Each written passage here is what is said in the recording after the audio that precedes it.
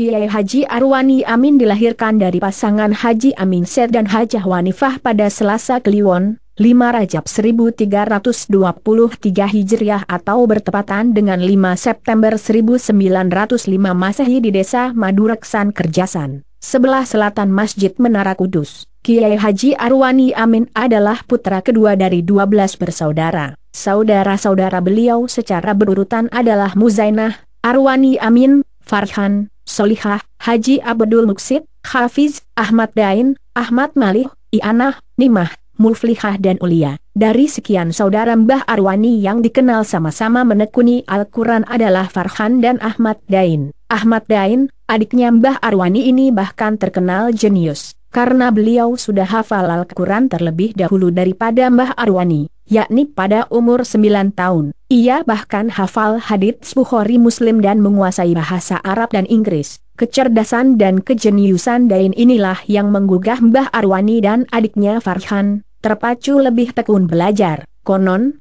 Menurut Kiai Haji Syaroni Ahmadi, kelebihan Mbah Arwani dan saudara-saudaranya adalah berkat orang tuanya yang senang membaca Al-Quran, di mana orang tuanya selalu menghatamkan membaca Al-Quran meski tidak hafal.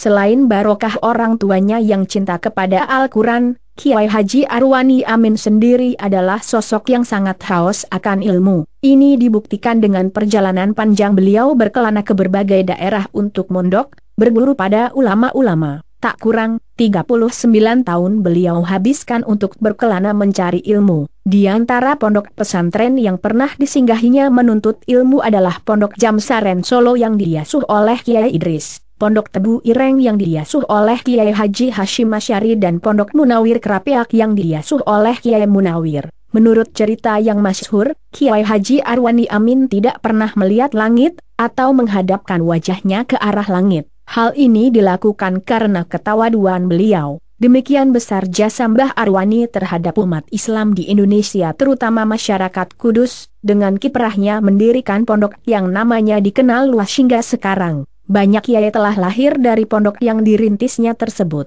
Kiai Haji Syaroni Ahmadi, Kiai Haji Hisham, Kiai Haji Abdullah Salam Kajen, Kiai Haji Muhammad Mansur, Kiai Haji Muharor Ali Blora, Kiai Najib Abdul Qadir Jogja, Kiai Haji Nawawi Bantul, Kiai Haji Marwan Meranggen, Kiai Haji Ahmad Hafiz Mojokerto, Kiai Haji Abdullah Umar Semarang, Kiai Haji Hasan Mangli Magelang, adalah sedikit nama dari ribuan kiai yang pernah belajar di pondok beliau. Semoga kita bisa meneladani ahlak beliau yang mulia. Amin.